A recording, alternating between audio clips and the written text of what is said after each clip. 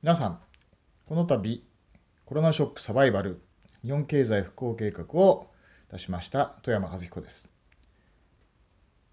今回のパンデミックで皆さん大変な時期をお過ごしと思います。また、経済的にも非常に厳しい状況にあると思いますが、今回の本はそういった危機の時代をどうやって経営という側面で生き抜くか、それを題材としてこの度緊急出版した次第です。私は20年前の金融危機の時には産業再生機構の COO として10年前のリーマンショックの時には今の経営競争基盤の CEO さらにはその後の東日本大震災それから東電の原発事故等々いろんな局面で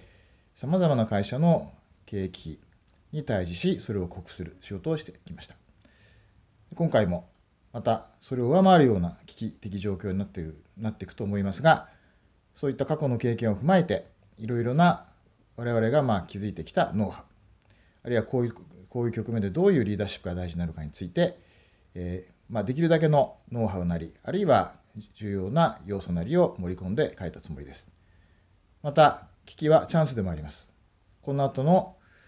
リカバリー期危機から必ず危機が終わりますからそれから戻っていく時期にさまざまな今まで積み残していた課題をクリアしていく会社を変容させる、えー、まさにデジタルトランスフォーメーションの時代に必要なコーポレートトランスフォーメーションをしていくチャンスでもあります。今回の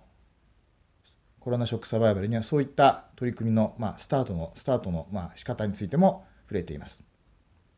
この後実はそのコーポレートトランスフォーメーションをメインとした、えー、続編も今実は書いておりますがまずはこの今厳しい局面このコロナショックサバイバルを読んでいただいてぜひぜひこの厳しい状況を生き抜いてもらってでそのさらにその次のステップのさまざまな大きな改革トランスフォーメーションのむしろきっかけとしてさらなる飛躍のチャンスとして言ってもらえれば幸いです。ぜひぜひご一読ください。